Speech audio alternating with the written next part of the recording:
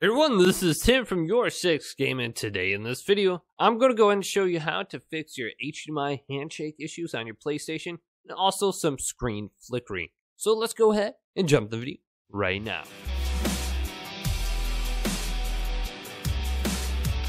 So if you are having HDMI issues and also flickering on your screen when you're using your PlayStation 5, let's go up to settings and select this and then scroll on down to screen and video.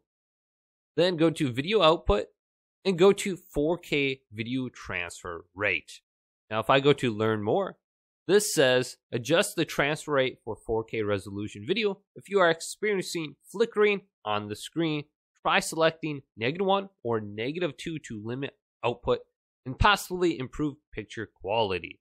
So you have two options under here. It says it's automatic just go to negative one, try this out, play for a few minutes, then come back, switch it to negative two, and just see if there is one that's better than the other. Now, I just set mine to automatic, and that is good for me. Also, go down to HDR.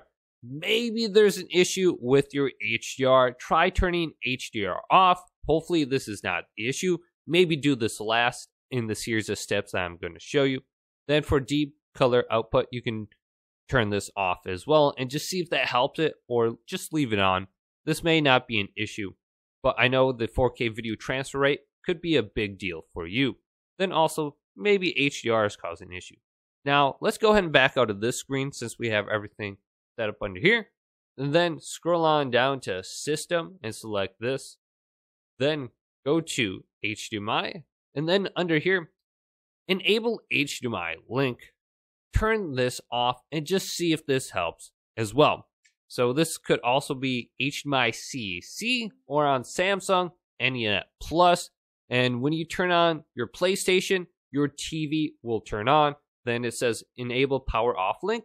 So if you turn off your PlayStation, your TV will turn off as well.